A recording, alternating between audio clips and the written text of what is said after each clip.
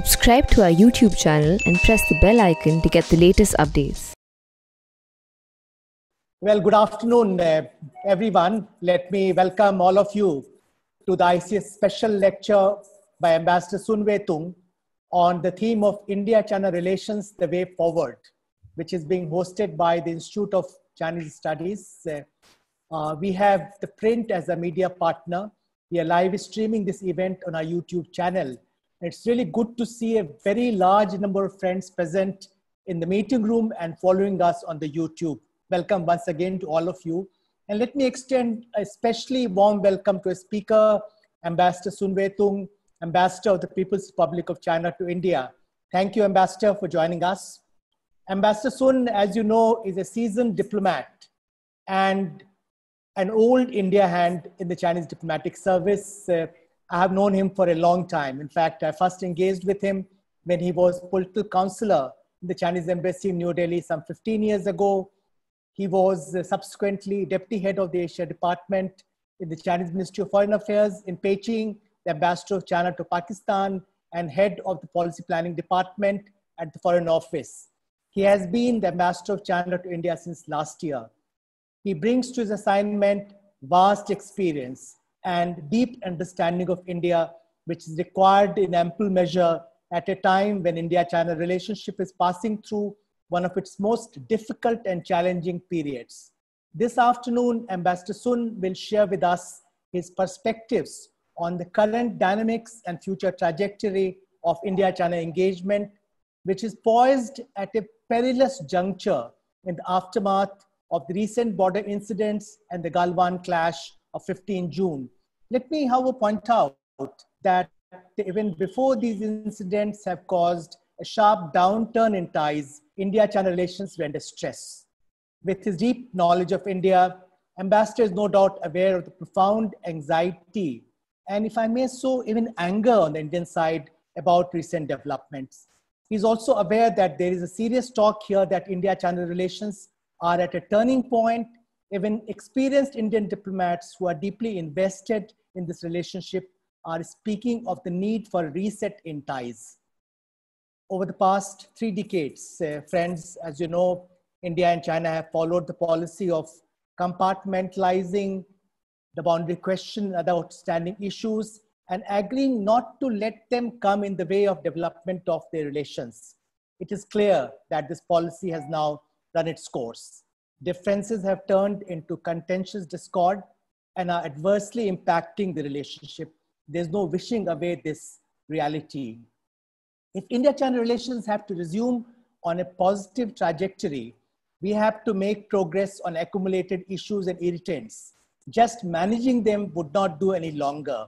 An urgent requirement is the restoration of the status quo ante in the border areas prior to the recent unfortunate developments it's also imperative that we clarify and confirm the line of actual control and move towards a common understanding of the LAC in keeping with formal agreements reached by the two countries in the past. And both Ambassador Sun and I have been involved with these agreements, which were concluded earlier.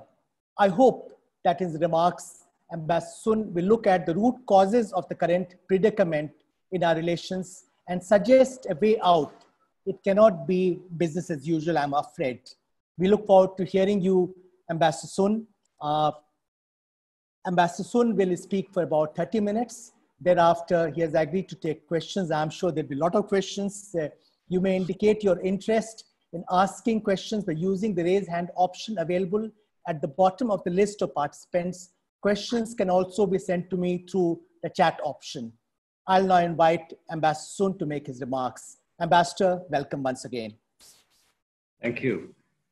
Uh, dear Ambassador Ashok Kantha and uh, dear experts and colleagues, uh, ladies and gentlemen, uh, Indian friends, namaskar and uh, good afternoon. Uh, it is my honor to attend this webinar on China-India relations held by the Institute of Chinese Studies. First of all, I would like to express my sincere uh, appreciation to uh, Mr. Ashok Kantha and ICS for your efforts to, in holding this uh, webinar. Uh, I can see some of my friends were also on the line and uh, Mr. Vijay Nambiar, the former ambassador, uh, and other friends. It's such a pleasure to see you again. And uh, many of you were well known experts on China, like Ambassador Kantha and Ambassador Nambiar. You have made a lot of uh, contributions to the development of China India relations over the years. And today we are gathered online to have constructive discussions on how to move China India relations forward. And uh, such discussions are necessary under the current situation. So I'm glad to uh, take this opportunity to share my thoughts on the future of China India relations under the topic of implement the consensus reached by the leaders of China India to bring China India relations back to the track of sound and steady development.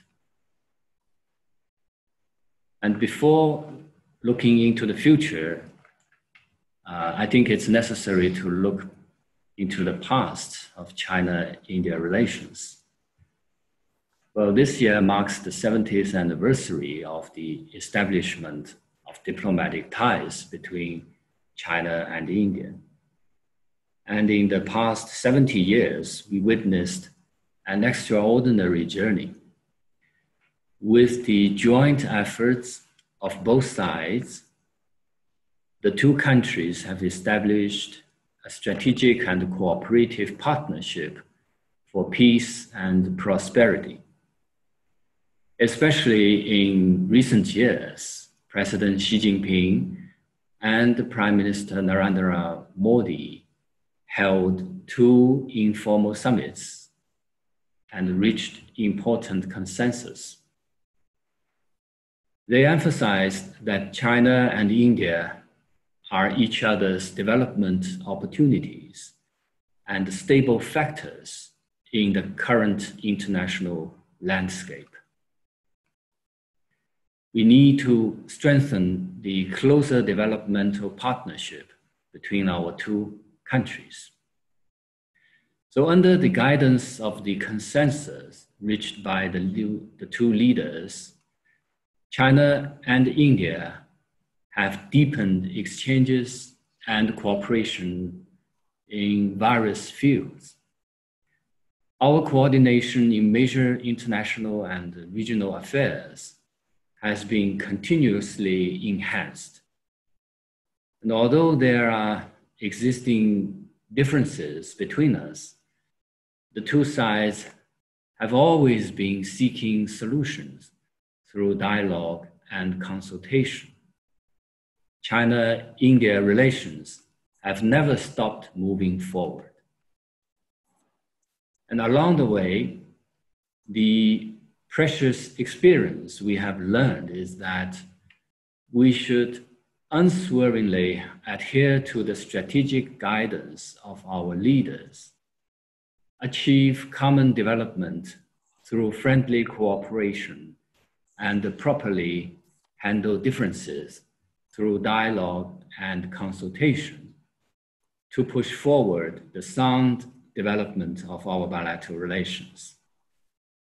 I think these lessons and experiences still have imp- important practical significance in handling China India relations even today. Recently, as Ambassador Kantha just mentioned, there occurred the Galwan Valley incident in the western sector of the China-India boundary. It was an unfortunate incident. Neither side wants to see it happen. And immediately after the incident, the two sides conducted dialogues through military and diplomatic channels. The Chinese state councilor and foreign minister Wang Yi held telephone conversations with Indian External Affairs Minister Dr. Jaishankar and National Security Advisor Mr. Ajit Doval, respectively. The two sides also held four rounds of corps commander level talks and three meetings under the working mechanism for consultation and coordination on China India border affairs. It's the WMCC. And with the joint efforts of both sides, the border troops have disengaged in most localities. The situation on the ground is de escalating and the temperature is coming down. I have noticed that for some time, uh, scholars from Indian think tanks have paid close attention to the Galwan Valley incident and expressed uh, various opinions. And uh, some believe that this will be a turning point to change or even uh, reverse China India relations. But honestly speaking, I can share with you my idea that is different uh, with this view. Uh, in my video speech on July the 10th, I proposed five points. China and India should be partners rather than rivals. China and India need peace rather than confrontation. We need to pursue win win cooperation rather than zero sum game. And we need to build trust rather than suspicion. China India relations should move forward rather than backward. I think that position is very clear and it is uh, different with the points that uh, uh, China and India is at a turning point. In the recent and current era, we believe that the basic national conditions of China and India as, as the two largest developing neighbors remains unchanged. The orientation of China and India being partners, friendly cooperation, and common development remains unchanged. The general structure that China and India cannot live without each other remains unchanged. So these three unchanged are our basic judgment on the current China-India relations. And it is based on this judgment that China's basic policy towards India remains unchanged. Both sides should grasp the fundamental interest of the two countries and their peoples and stick to friendly cooperation and properly handle differences to bring the bilateral relations back to the normal track. And to move China India relations forward, I believe that we need to strengthen our views on several key issues. The first, China is committed to peaceful development and it is not a threat or strategic threat to India. To safeguard world peace and promote common development has always been the fundamental goal of China's diplomacy.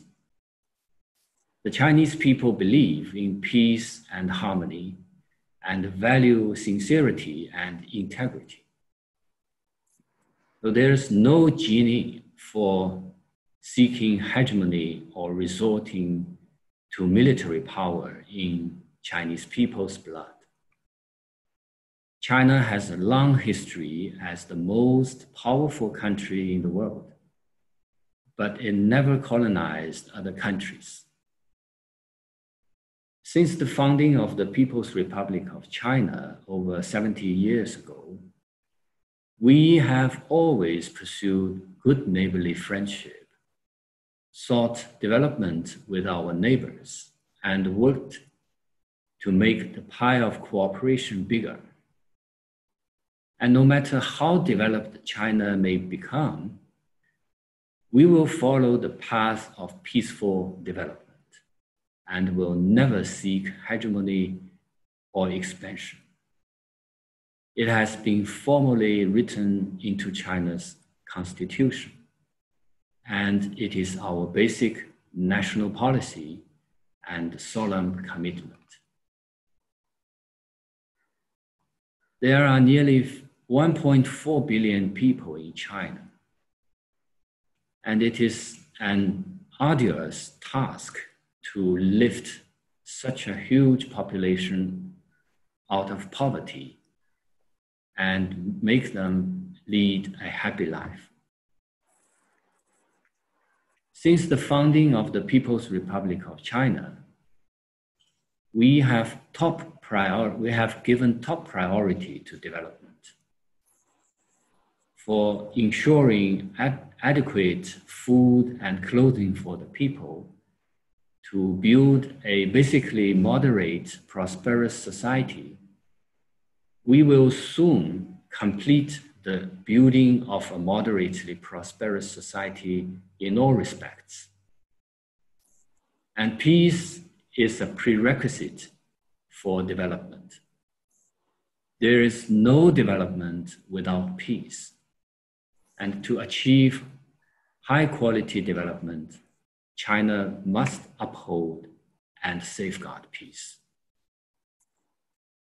And as the two largest developing countries, emerging economies, and the two only two countries with over 1 billion population in the world, China and India are both at a critical period of national development and rejuvenation.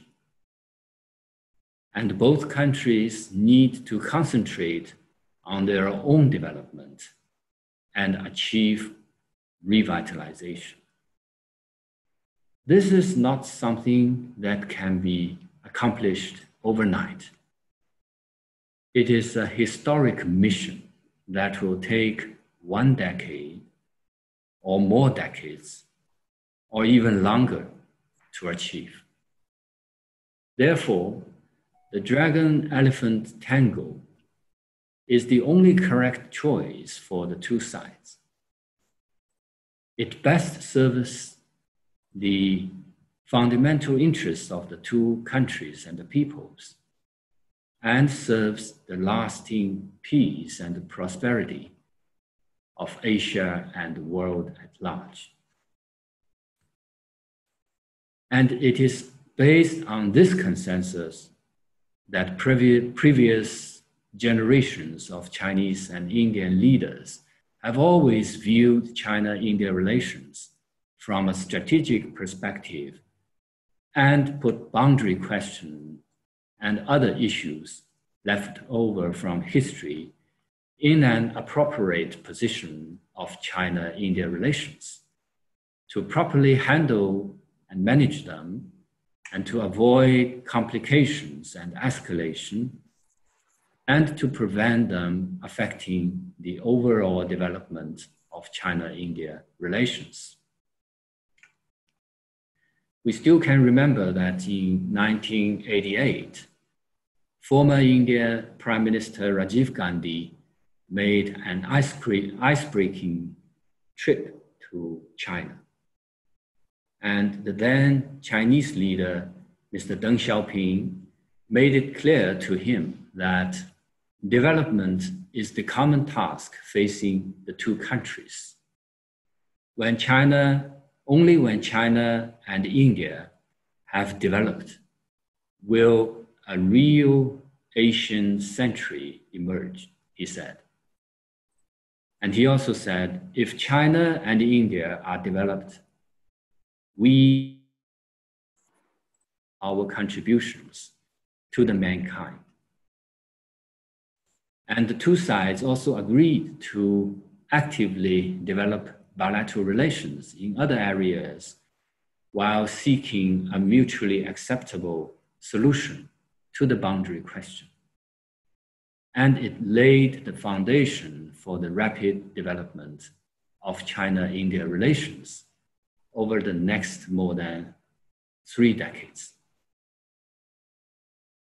And since 2014, President Xi Jinping and Prime Minister Narendra Modi have stressed on many occasions that China and India are each other's opportunities and pose no threat to each other. This has made a basic judgment on China India relations and pointed out the right direction for the development of bilateral relations. And at present, both China and India are facing severe challenges, namely COVID 19, the economic downturn, and pressure on people's livelihoods and employment caused by the epidemic. When I saw the people wearing masks on the streets and the doctors and nurses in protective suits, I really feel that the, vis- the invisible virus, rather than China, is the threat facing India. And in the face of this common enemy, China and India should work together to overcome difficulties.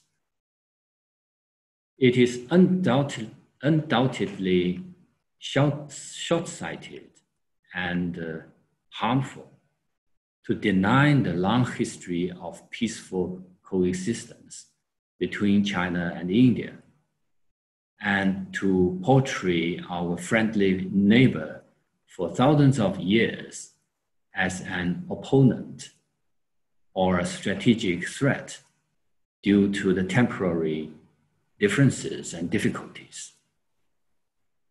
We should correctly analyze, analyze and uh, view each other's strategic intentions and prevent misinterpretation and miscalculation in a positive, open, and inclusive attitude. Second point is that China firmly upholds its sovereignty, and meanwhile, China will never engage in aggression or expansion. The rights and wrongs of the Galwan Valley incident are very clear. I have talked about it in my previous interview with Indian media, so I won't go into the details today.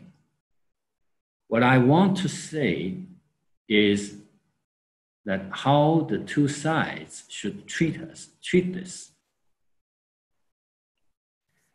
It is the legitimate right for every country to safeguard its own sovereignty and territory integrity.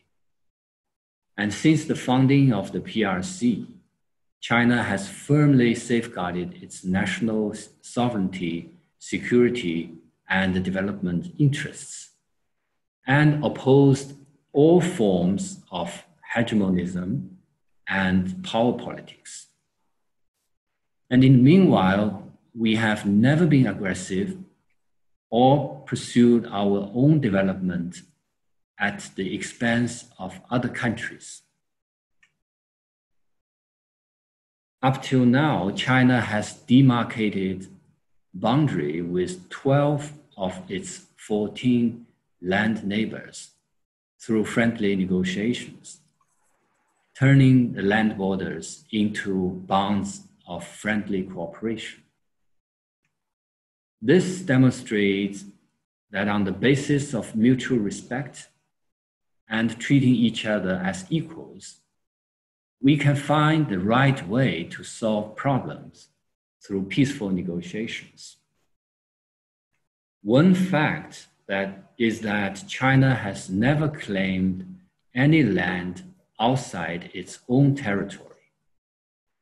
The label of expansionist cannot be pinned on China. It is normal for neighbors to have differences. We should focus on friendship and cooperation instead of only on differences. And we should not allow the development process of the two countries and the overall interests of the bilateral relations to be disturbed. As we Chinese often say, you can't see the wood for the trees. The more challenges we face on the boundary question, the more we need to strengthen dialogue and communication. And pending the final settlement of the boundary question, two sides should make joint efforts to maintain peace and tranquility in the border areas. Over the past decades, the two sides have managed differences through dialogues and negotiation and established various mechanisms such as the special representatives meeting on the boundary question, reached a series of agreements to maintain peace and tranquility in the border areas and keep the channels of military and diplomatic communication open. These good practices must continue. There have been an argument in the Indian public opinion on the boundary question, which worries me. And that's suggesting that India government adjust its policy towards India, uh, towards China, and change its stance on issues related to Taiwan, Xizang, Hong Kong, and South China Sea to put pressure on China. I want to point out emphatically that Taiwan, Hong Kong, Xizang, and Xinjiang affairs are totally China's internal affairs and bear on China's sovereignty and security. While China doesn't interfere into other countries' domestic affairs, it allows no external interference and never trades its core interests either. As the two countries have different histories, cultural backgrounds, and social systems, it is inevitable that we have different views on some issues. President Xi Jinping pointed out that mutual trust is the fundamental, is the foundation for the stability and the development of China-India relations. And this speaks to the essence and the key of China-India relations. To achieve mutual trust between China and India, we need to have a correct understanding of each other's strategic intentions and strengthen communication and exchanges. We need to respect each other, treat each other as equals, and be open and inclusive. We must adhere to the principle of non interference in each other's internal affairs and respect and accommodate each other's core interests and major concerns. We need to honor our commitments, walk the talk, and implement the consensus reached between the two sides. Both China and India are the great Oriental nations with ancient civilizations. I have the full confidence that we have enough wisdom and capability to solve the problems between us and blaze a new path of peaceful coexistence and win-win cooperation between major neighboring countries. And the third point is China advocates win-win cooperation and opposes zero-sum game. China has always emphasized win-win cooperation in its development.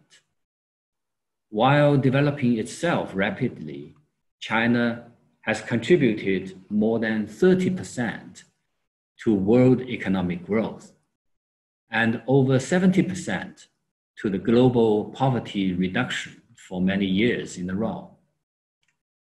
China never exported refugees, let alone wars. Instead, China has shared its development dividends with others. China's contribution to the world are obvious to all. And that is why President Xi Jinping advocated that we should build a shared future for human beings. Chinese and Indian economies are highly complementary and uh, have huge market potential. Our bilateral economic and trade relations are a model of win-win cooperation, which has been proved by many facts. Since the 21st century, bilateral trade volume between China and India has increased by 32 times to nearly 100 billion US dollars last year. China has been India's largest trading partner for many years, with a cumulative investment of more than 8 billion US dollars in India. China India economic trade cooperation has boosted the development of industries such as mobile phones, household appliance, infrastructure, automobile making, medicine and biology in India, creating a large number of local jobs and cost effective products for Indian consumers.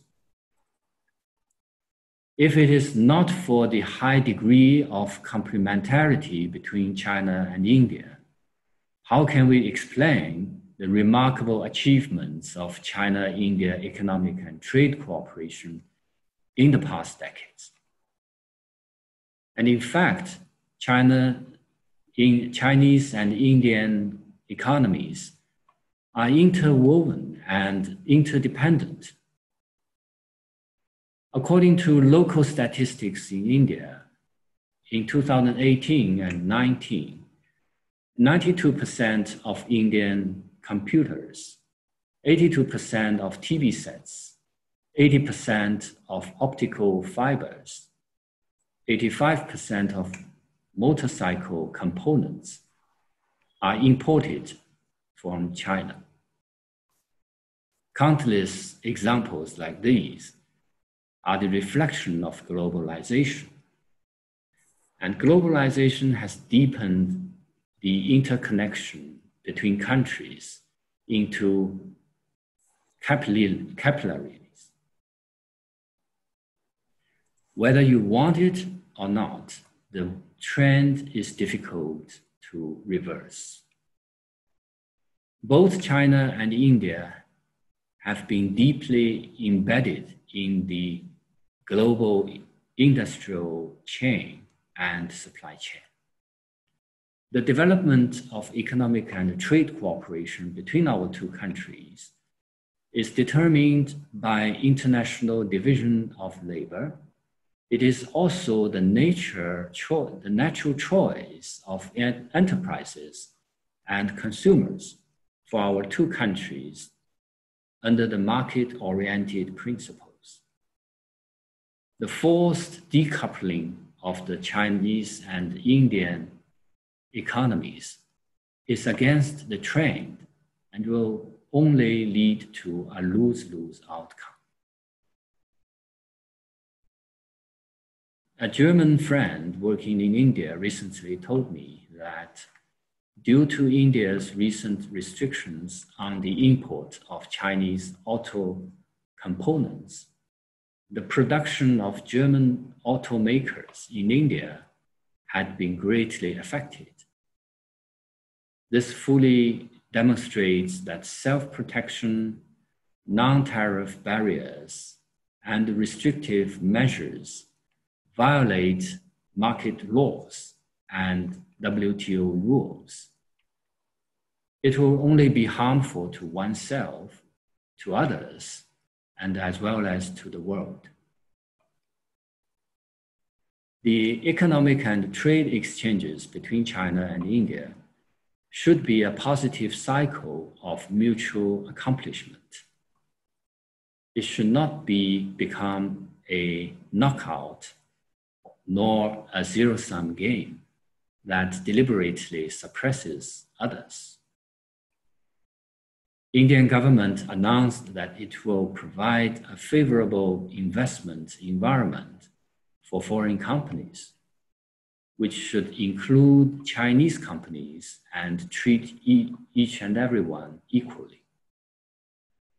Both sides should recognize the mutually beneficial and win-win nature of bilateral economic and trade cooperation, jointly create an open, fair, just business environment, and maintain the momentum of China-India economic and trade cooperation to bring more tangible benefits to the peoples. Ladies and gentlemen, China-India relations today are hard-earned and should be cherished all the more. It is like an exquisite, exquisite craft glass. So much effort and uh, wisdom by a lot of people are needed to make this glass. Some of the Chinese experts online today have also put a lot of efforts into this. But it will only take a few seconds to break it.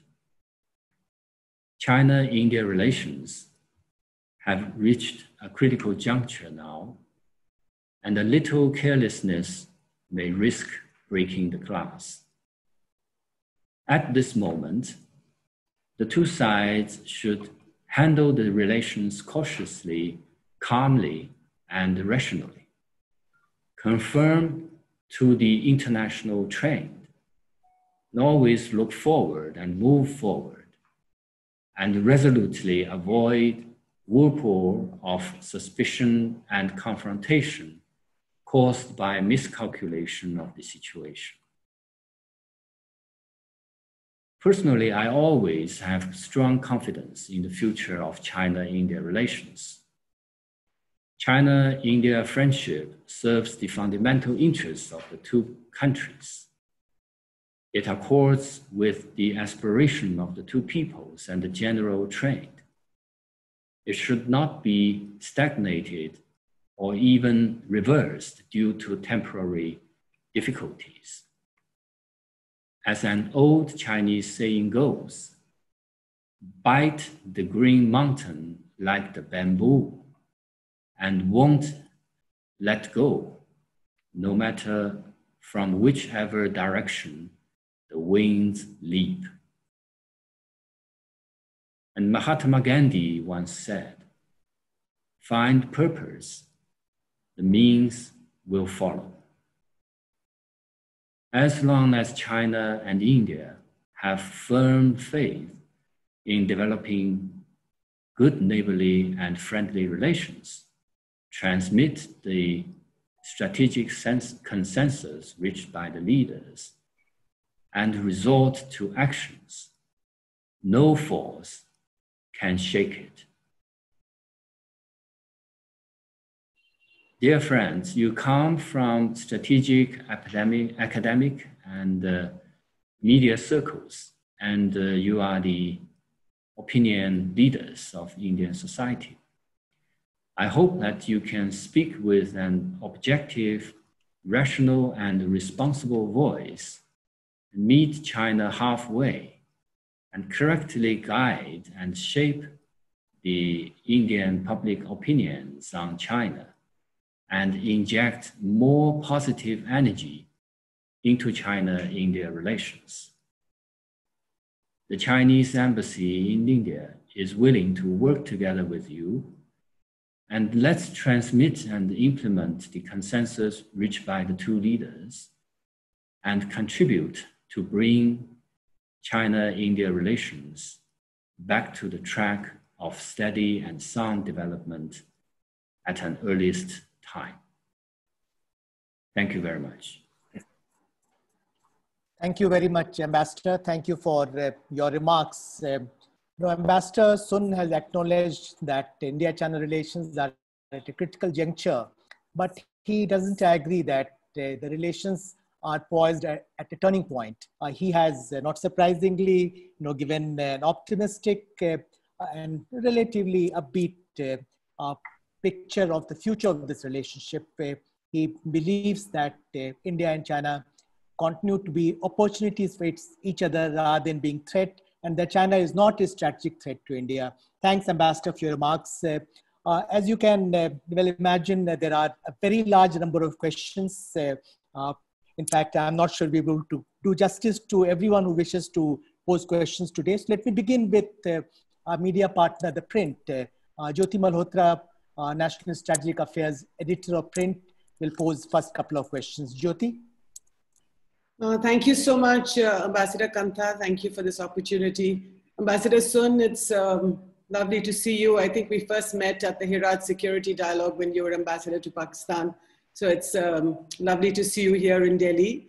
And I especially liked your comparison to the India-China relationship as a piece of glass, which is so, so delicate that it's going to break anytime. But my first question to you is about the 15th of June, the night of 15th of June in Ladakh, when Indian and Chinese soldiers had this very brutal clash. And we know that 20 Indian soldiers were killed in that clash. We also know that the Chinese commanding officer, just like the Indian commanding officer, was also killed. But we don't know how many Chinese soldiers were killed.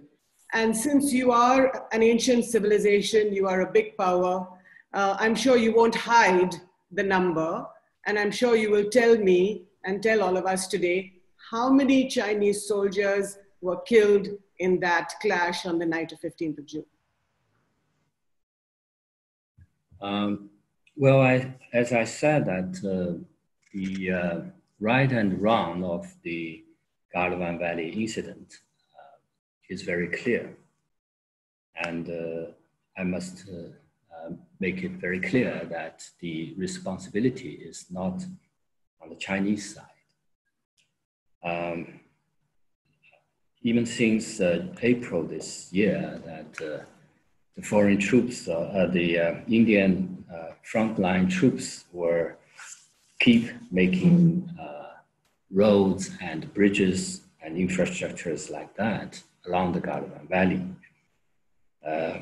and I think that also uh, leads to the representations from the Chinese side through military and uh, diplomatic channels. And after these rep representations, the Indian side agreed to uh, withdraw its uh, people and uh, uh, dismantle the infrastructure which was across the LAC. And there was a meeting between the corps commanders on the 6th of June. And the Indian side have committed that they will not go went across the watermouth of Galwan Valley to patrol or to uh, raise up any infrastructure. But unfortunately, on the evening of uh, the 15th of June, the Indian foreign, uh, the Indian frontline troops have break, broke this uh, uh consensus that reached by the corps commanders meeting, and they went across the LAC again, and they even violently attacked the Chinese uh, uh, soldiers who are coming up to make representations, and that lead to a very harsh clash or a physical clash between the two sides, and that leads to casualties. Well, I think uh, um, these, this is the, the reason that this incident happened.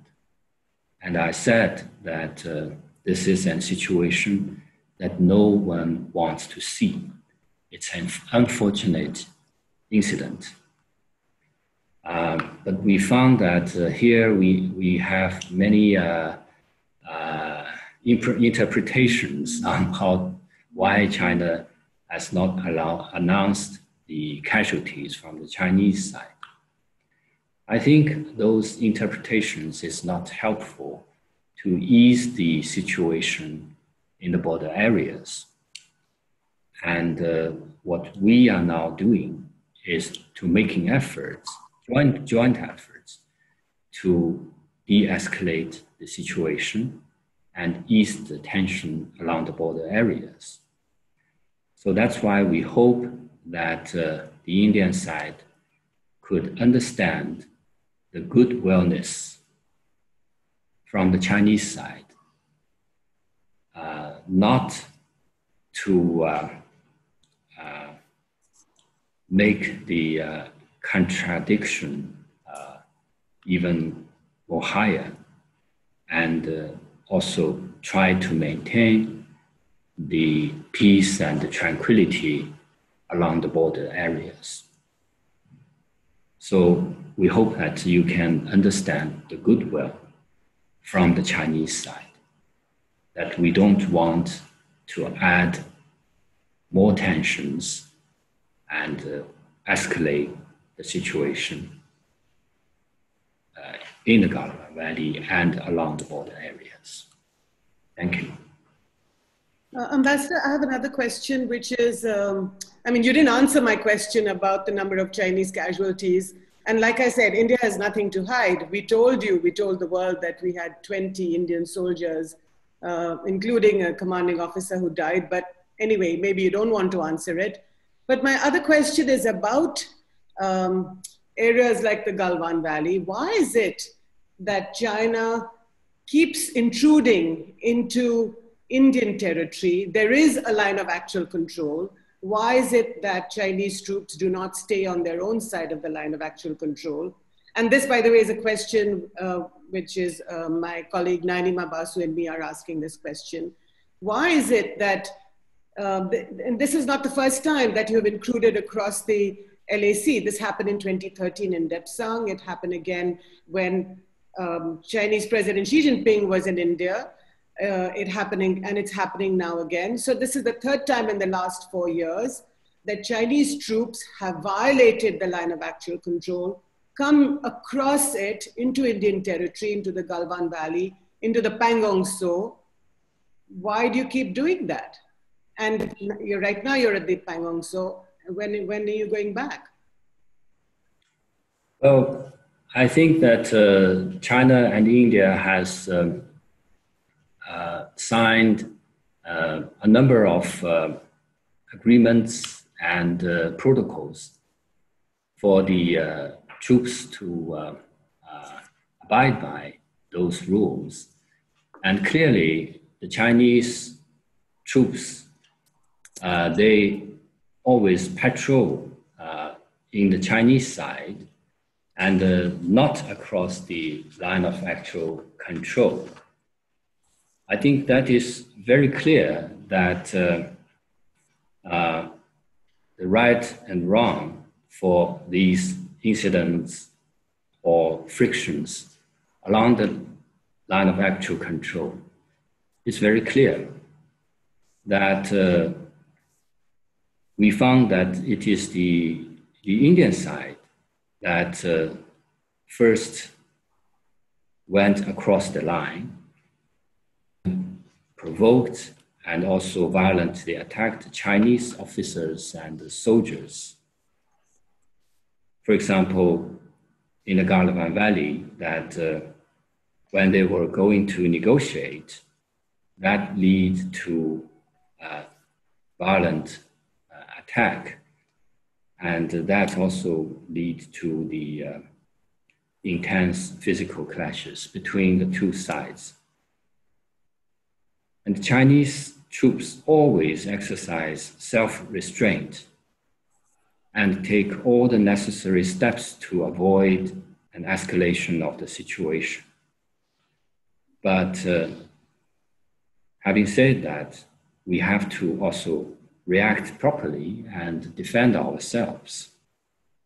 So I think the line of actual control is clear, and uh, the Chinese troops in the front line, they also know and they patrol in those areas for many years. And we also abide by those agreements we have signed and also follow those protocols. But we hope that two sides can work together to keep peace and tranquility along the border areas. Thank you. Thank you, Ambassador. Uh, we are fortunate to have with us uh, in the meeting room just now uh, four former ambassadors of India to China. You know, Ambassador Vijay Nambiar, you know, Ambassador uh, Chandrasekhar Dasgupta, Ambassador Nirupama Rao, Ambassador Vijay Gokhale. So let me welcome all of them. Uh, two of them would like to ask questions to you, Ambassador Vijay Nambiar and Ambassador Nirupama Rao. May I first invite Ambassador Nambiar to pose his question?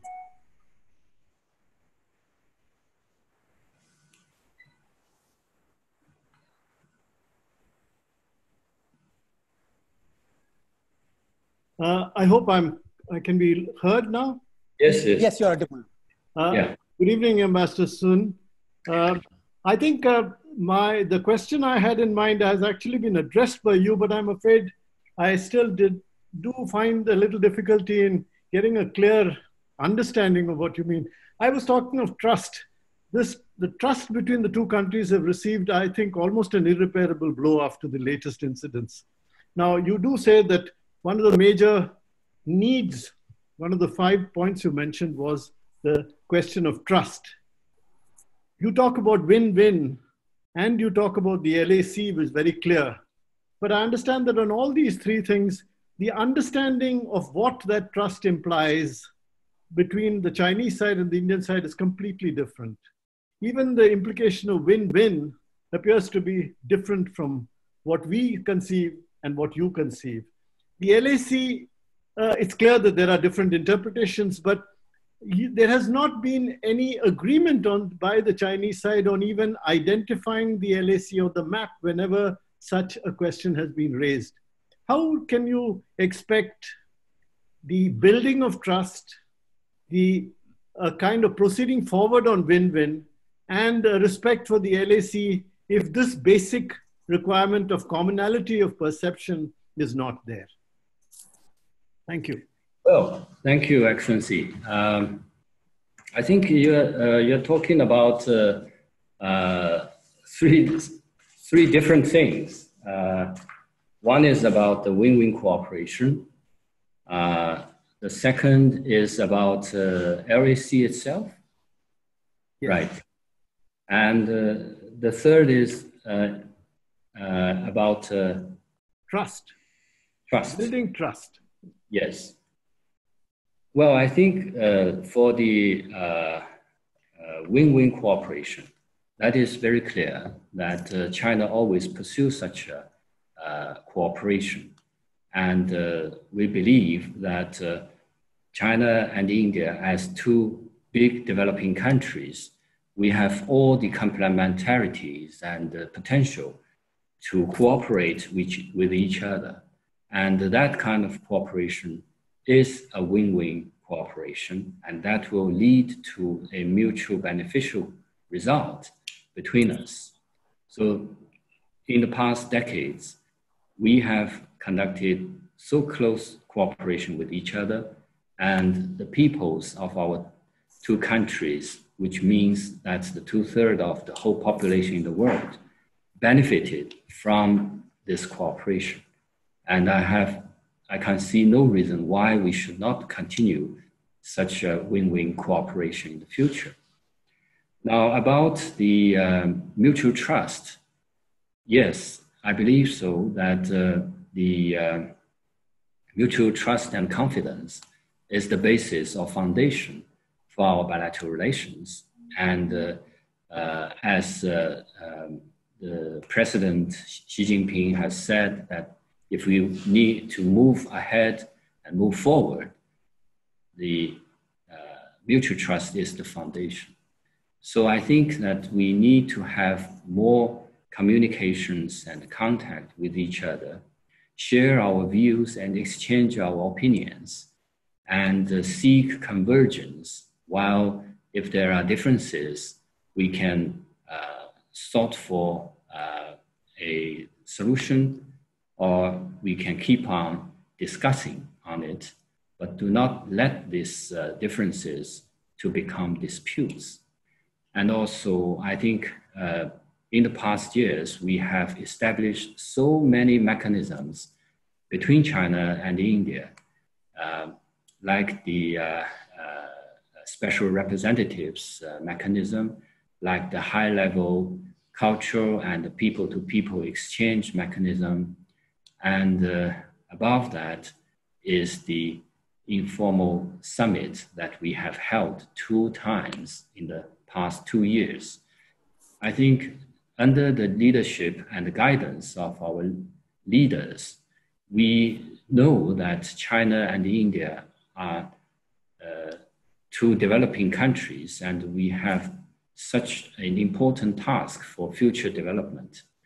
And that means China and India should focus on our work on development and uh, with cooperation, with contacts, with exchange of visits and communications, and with the discussion of all these mechanisms, China and India can further build up a stronger mutual confidence with each other.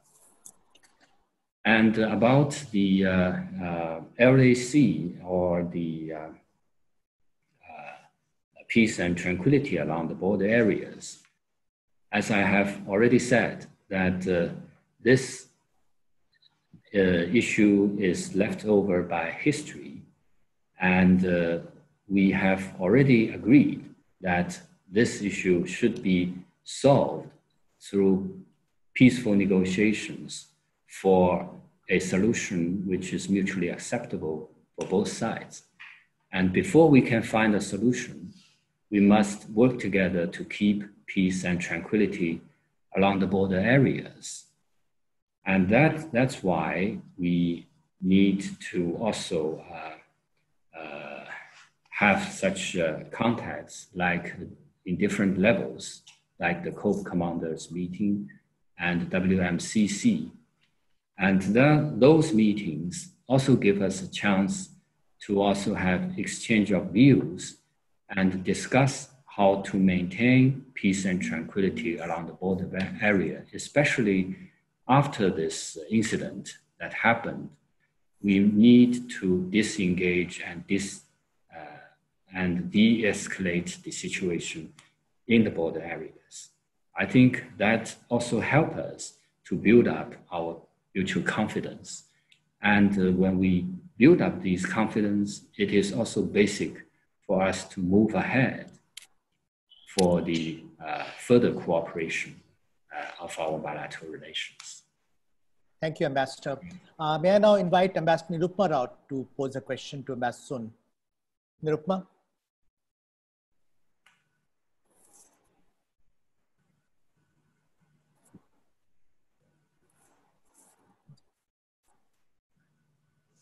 Nirupa, you can ask your question.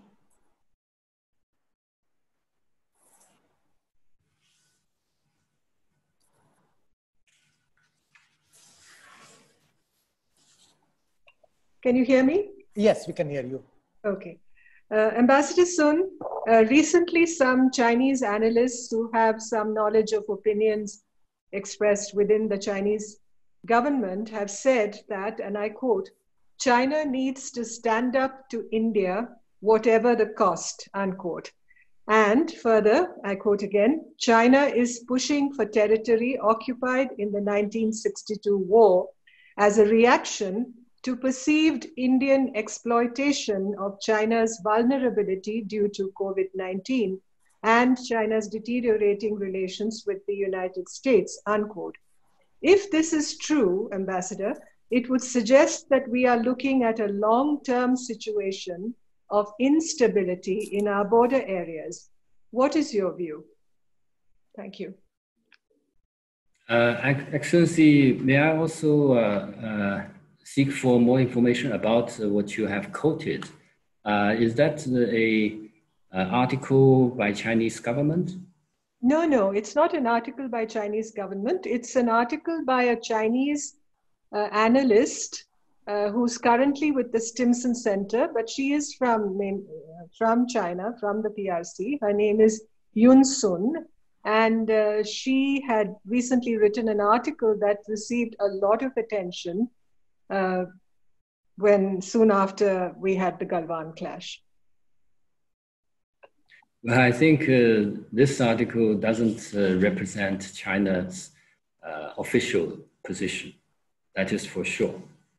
Uh, as we see it, we don't believe that uh, China and India should come into a clash uh, in, the, in the future, as I strongly believe that the two countries have a bright future of further development between our two countries and also make our own contribution to the global prosperity and peace.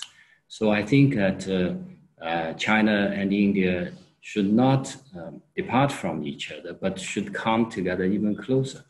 And uh, um, when I talk about our practical cooperation, uh, I think there are also huge space for our cooperation in the future, especially in trade and investment and also people to people contact. And we are also talking about uh, the leaders' consensus. I think that is uh, clear enough to say that uh, China and India are both opportunities to each other rather than threats. And uh, China India relations provide uh, the factor of stability to the world that the world will also benefit from such a stable and uh, continuous relations with each other. So I think now the problem is not that uh, we have talked too much about uh, our leaders' consensus. The problem is not that uh, it's not enough to, to be mentioned um, in different cases.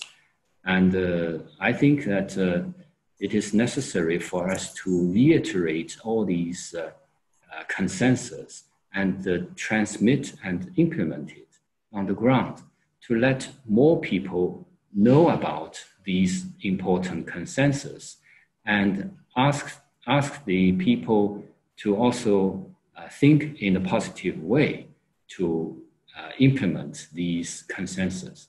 Only by doing so that China and India relations can achieve a stable and steady uh, move that forward and benefit uh, the peoples.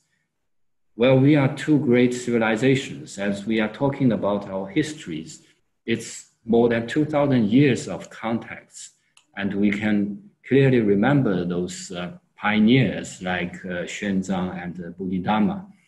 But nowadays, uh, China and India are coming more closer because there are modern technologies that can bring us closer together. And uh, at this moment, we need more heart to heart contacts with each other uh, rather than suspicions. And we also need to have uh, more communications through those dialogues and mechanisms so that we can have a better understanding with each other's strategic intentions.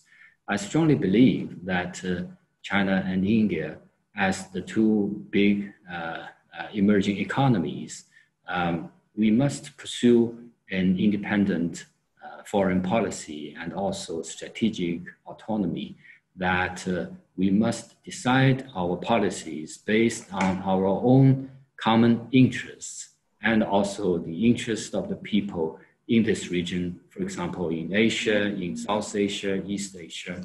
And these uh, interests related to billions of peoples.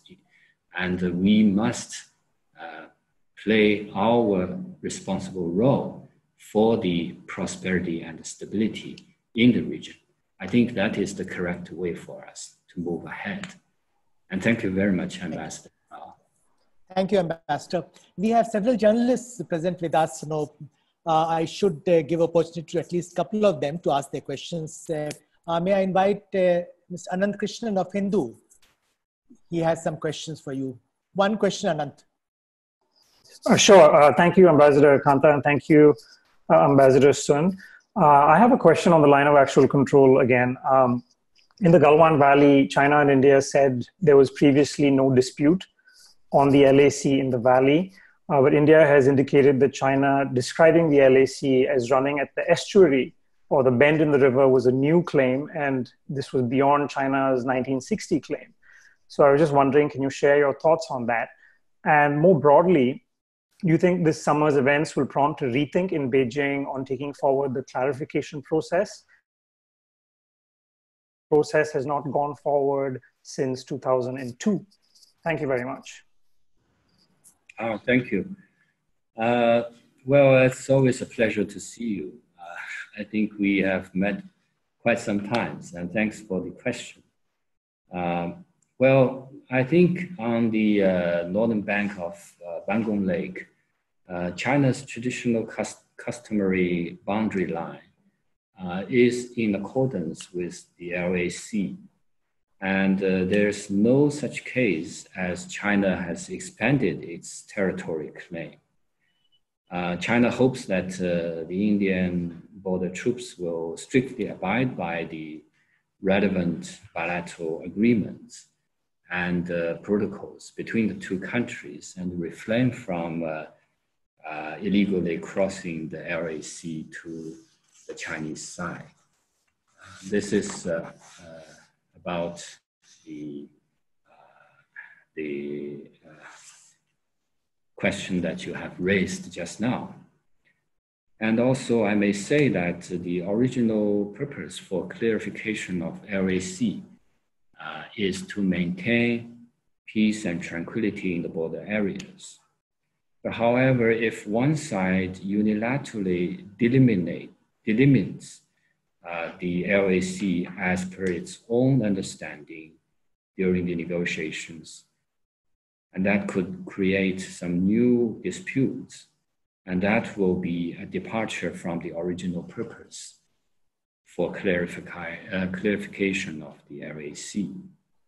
So we hope that uh, the Indian side could work with the Chinese side in the same direction and continue to push forward negotiations on the settlement of frame, uh, the settlement framework in accordance with the political parameters or guiding principles for settlement of China-India boundary questions reached in 2005 and strive to find a fair, reasonable, and uh, mutually acceptable solution while implementing confidence building measures and maintaining peace and tranquility uh, in the border areas.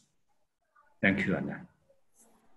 Thank you. Uh, can I now invite uh, Devirupa Mitra to ask a question? Devirupa? Ambassador, thank you for the opportunity to ask a question. Uh, I want to again uh, ask, uh, basically, we asked the same question that Mr. Kant had also mentioned in his opening speech, and uh, what Mr. Krishnan uh, just now asked. Why uh, you you right now mentioned that the LAC clarification on the exchange of maps was because it could lead to another dispute. Can you? We have already done an exchange of map in one sector, so why can't we do it in other sectors? And uh, won't it basically elevate the situation? In fact, if we knew each other's perception and the perception of the LAC. Thank you. Uh, as I just said, that uh, the uh, uh the purpose for clarification of LAC is to maintain peace and tranquility along the border areas, and uh, um, when we look back into the history, we will find that uh, if one side has unilaterally put its own perception on the LAC uh, during the negotiations, that will create new disputes. And that's why uh, this um, process cannot be moved on. And uh, I think that is a departure for the original purpose to clarify the LAC. Of course, before we can solve this uh, problem, we need to maintain peace and tranquility along the border areas. So I think that it is necessary for us to follow the uh, agreements and the protocols we have reached in the past and also sincerely uh, implement those we have agreed in the agreements and the protocols I think we have the uh, 1993 and 1996 agreements on the uh, uh, peace and tranquility and also confidence building measures, and also other agreements and protocols that also clearly give us the guidance and code of conduct for uh, uh, dealing with those uh, incidents that may happen in the border areas. So the important thing is that we must uh, follow those uh, agreements and also continue our uh, discussion and consultations between the along the, the diplomatic channels and also between the corps commanders so that we can uh, also uh, find out the way to uh, de-escalate the situation and also restore the peace and tranquility in the border areas. That is my uh, answer. Thank you very much. Thank you. Uh, can I now invite you know, Ambassador Vishnu Prakash? He wishes to ask a question. He raised his hand. Vishnu? Thank you, Chair. Uh, greetings, Ambassador. I have a very simple question. In Can you speak a bit loudly? We can't hear you. Am I audible now? Yeah, go ahead. Yeah. All right. Ambassador, uh, greetings. Uh, in your video message, which you had posted on the embassy website, you had said we are neither a warlike state nor an assertive country. Today, you have said the same thing. Also, Foreign Minister Wang Yi had stated, and I quote, aggression and expansion are never in the genes of the Chinese nation throughout its 5,000 years of history. So here I'm quoting Chinese dignitaries like yourself. Ambassador, the problem is that uh, barring a couple of countries, uh, unfortunately for or fortunately, nobody in the world uh, believes these assertions. The world believes otherwise. My question is, why is China so misunderstood? Is it that the comity of nations is ignorant or biased? Uh, can I have your comments, please? Hmm. Well, I think that uh, um, if it is a truth, um, it will always be a truth. But if it is a lie, if even if it has been repeated a thousand times, it's still a lie.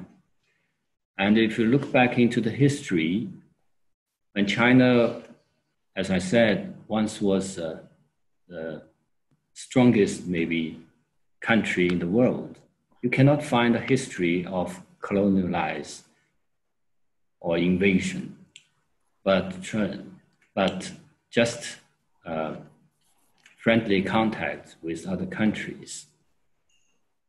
So when we are talking about the uh, uh, this uh, uh, sovereignty and territory integrity, every country has the right to protect its sovereignty and territory integrity.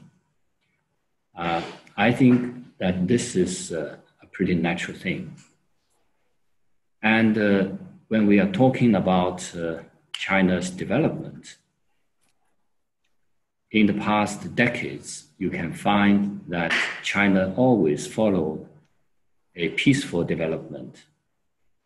And uh, this perhaps is the rare or even only example for the major countries like China, with more than 1 billion people, have achieved such economic growth in the past 40 years and become the second largest economy.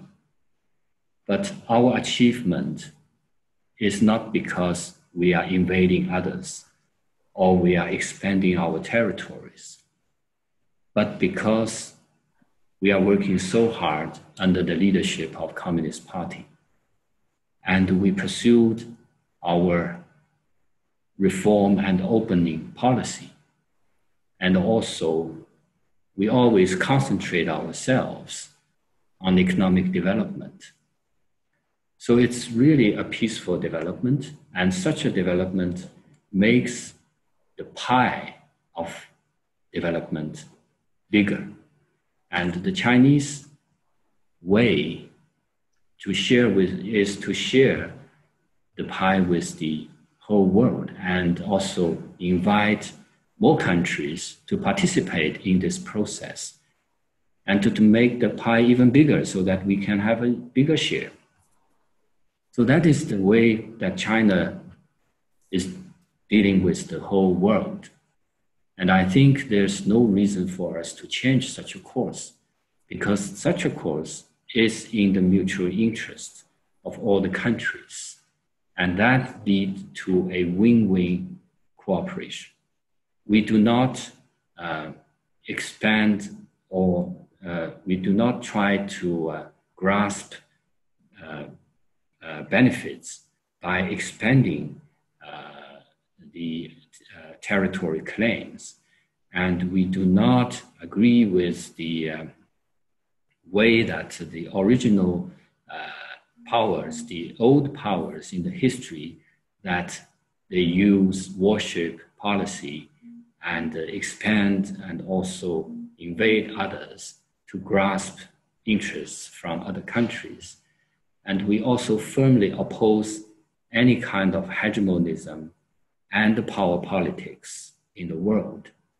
We believe that uh, a country, no matter how strong it is, it should be equal to others and treat others with respect and seek for common ground with each other and try to build up a community, international community with shared future. So that is our strong belief in our foreign policy. And you can see that kind of policy is consistent, is clear, is continuous. No matter who is, uh, no matter uh, how the international situation is changing, China's basic foreign policy has not changed. And those policy, like the five principles of peaceful coexistence, like the win-win cooperation or like peaceful co- uh, development are all part of our foreign policy, and we will we will see no reason to change it. So I hope that these words can also uh, uh, help you to understand that China would like to seek for a new path of development rather than those paths in the past have been explored by those, uh, say, colonialists or imperialists. China would like to seek for a new path of development, a peaceful way for us and for the world. Thank you. Thank you, Ambassador. Uh, we have really run out of time, but with your permission, I will accommodate two more questions. Uh, Professor Rongying of CIS Beijing and Mr. Ravi Bhoothalingam of ICS. Uh, uh, is that all right? Yeah, please, please. Okay, thank you, thank you. Uh, thank Professor you. Rongying? Professor Rongying is Vice President of China Institute of International Studies, Beijing. Um, thank you very much. Uh, can, can you hear me? Ah, yeah, we can hear you. We can't yes, see you though. Thank you very much. no problem. yeah, thank you very much. Uh, thank and particularly I think the two ambassadors, Ambassador uh, Kantha and Ambassador Sun for, for the uh, the uh, occasion. I think a lot of uh, Indian colleagues, friends, raised good many good questions that would help us to understand the the complexities and also the importance of the relationship. My question actually been very simple. I, some of them have been touched upon Ambassador Sun.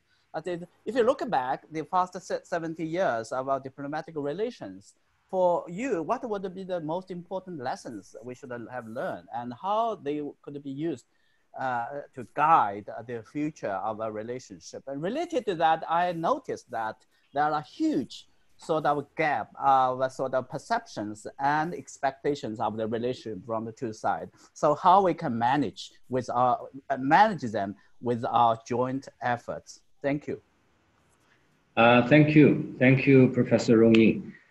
Uh, well, I, I, can't see you, but uh, I hope that uh, uh, maybe in the future we can also have another webinar that you can have a chance to uh, share us with your opinions but thank you for the questions.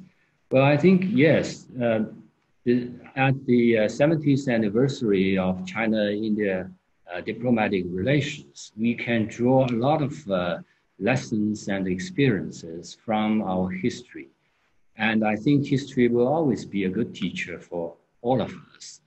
Um, for me, I understand that uh, uh, there's a key uh, of develop, of the development of China-India relations. That is the lead, the leading role or the guiding guidance of the uh, two leaders, the leaders, that we, because in the in the past decades, our leaders from the two countries have always given us the uh, general trend and the direction of our bilateral relations at the level of uh, uh, strategic and uh, overall picture. So their roles, the leaders' roles, are in, unreplaceable. And in the future, we must also reinforce and reiterate those uh, consensus that reached by the leaders and let those guidance to give us uh, uh, momentum for moving for, further ahead for the bilateral relations. Secondly, is that we must always put China India friendly cooperation as a general trend in our mind. That we have a history of cooperation for more than 2,000 years. And uh, that is the, the, the key uh, the tune for the China-India relations. And I don't think that this has been changed because during my remarks, I, I said that there are three unchanges. And the first unchanged is that China and India are still the largest developing countries and new emerging economies. I don't think this will be changed in the next decades. And it will be a long run for us to fulfill our dreams together. So if this is not changed, the basic condition has not changed. And cooperation and coordination is, are the best choice for China and India to work together. And thirdly, I believe that there are great potential and space for us to cooperate. Name some of them is like pharma, ph uh, pharmacy, pharmaceutical uh, industry, uh, the uh, information technology, connectivity, infrastructure, environmental protection, and even poverty alleviation.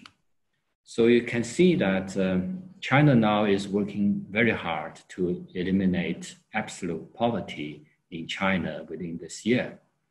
And uh, we would like also to share those uh, experiences um, with the Indian side because both of us have huge populations that should, uh, their living standards should be raised. So I think that uh, the potential is huge and that should not be affected by the recent difficulties or differences. And thirdly, and fourthly, is that uh, we have a close coordination uh, in the regional and international affairs. We are all members of uh, BRICS and uh, SCO and G20, and we also have China, Russia, India cooperation. So we have all the reasons and duties and responsibilities to uh, safeguard the common interests of the developing countries. And China and India shares so much uh, common grounds on climate change, uh, uh energy and uh, food security, and also public health, especially after this uh, pandemic. So I think China and India should also strengthen our coordination in the international arenas. And uh, last but not least is that we must properly manage our differences. Yes, we have difficulties and issues left over by history, like the boundary question. But the two sides must work together to keep dialogue with each other and have consultations to seek for a solution. Um, when I arrived here last year, I also mentioned that there are four key words to further promote China-India relations. First is guidance, the second is transmit, and the third is uh, shaping, and the fourth is integrate. So the guidance, of course, is by the leaders, and we should follow their guidance sincerely. But I think more importantly is that their consensus must be transmitted and implemented at different levels. And that could also go lead to the uh, grassroots people so that these, uh, uh, these consensus can be transmitted to real substantial cooperation outcomes. And also, we must go beyond the mode of uh, different management and try to proactively shape our bilateral relations to add more positive energy into it. And also, by more closer cooperation, we should have more interest uh, integrated with each other so that we can achieve common development. So that's my idea that we can share with you for the future development of our bilateral relations.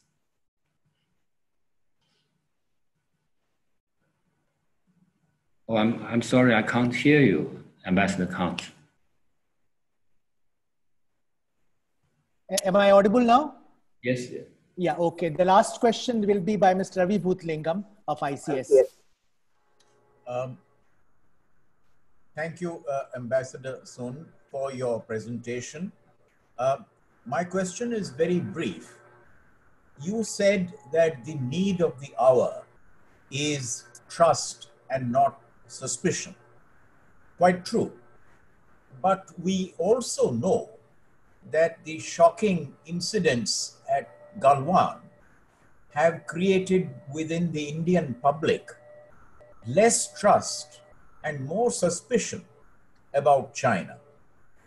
Now, of course, we should implement the leader's guidance, as you said, but that needs to be implemented with some very concrete, visible steps that the Indian people can touch, feel, and see, and say, yes, now we can see that China is serious on rebuilding trust.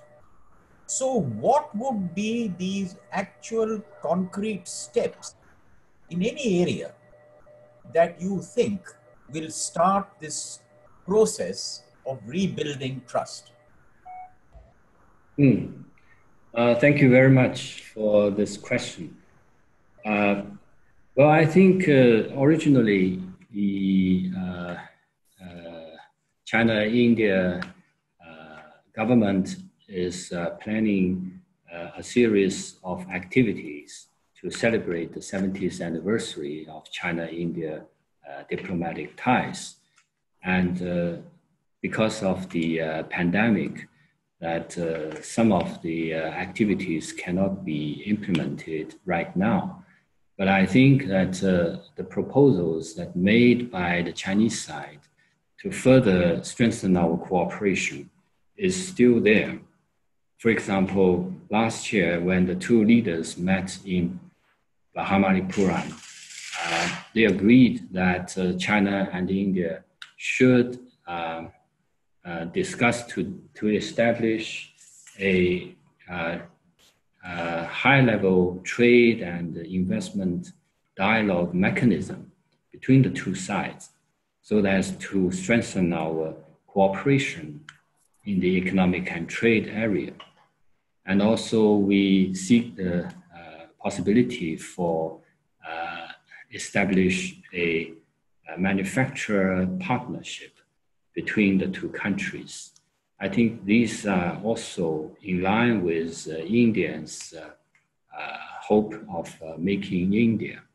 And uh, that will also help China, Chinese uh, entrepreneurs to participate in such development.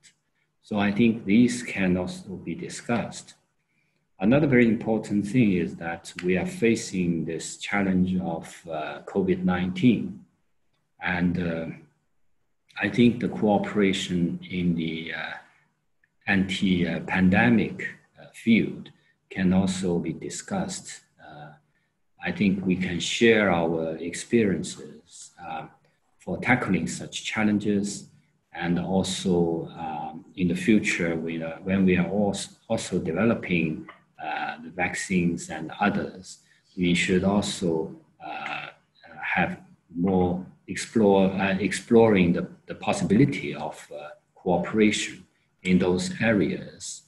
And uh, um, I think in the in, in international arena that China and India should also work together uh, for the international uh, public health cooperation uh, that we we have already had the G20 leaders summit and in the future China, India, as the two biggest developing countries, should also uh, further promote international uh, public health cooperation with each other to build a public health uh, community of shared uh, future. And uh, I think there are so many um, fields that we can explore. but on the other side, that we must also strengthen our cooperation between the peoples. The people to people contact is perhaps the basis for the bilateral relations. And uh, we do hope that more and more Chinese and uh, Indian friends can uh, contact with each other and share their views and also strengthen the basis of people to people friendship. That will also help us to have a better understanding of each other and uh, will lay a solid foundation for further development of our bilateral relations. Thanks. Thank you. Thank you very much, Ambassador.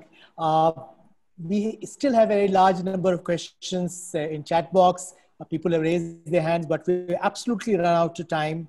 So we'll have to conclude uh, this webinar. Uh, before doing so, let me thank Ambassador Sun for his presentation, for sparing the time, for uh, uh, making a very valiant attempt to present the Chinese perspectives on various issues which are troubling us today. Uh, we understand that uh, in your uh, presentation, uh, you have taken an optimistic and forward-looking view, but there are concerns and anxieties which have been amply reflected in various questions that you had to field this afternoon. In fact, many more questions in the chat box. Uh, uh, I believe it has been uh, a fruitful dialogue. Uh, uh we learned from you, and uh, I hope that uh, from Indian participants also you'll take back certain signals, certain message, about what is troubling India-China relations today. As someone who has spent, you know, uh, uh, nearly 15 years of my you know, diplomatic career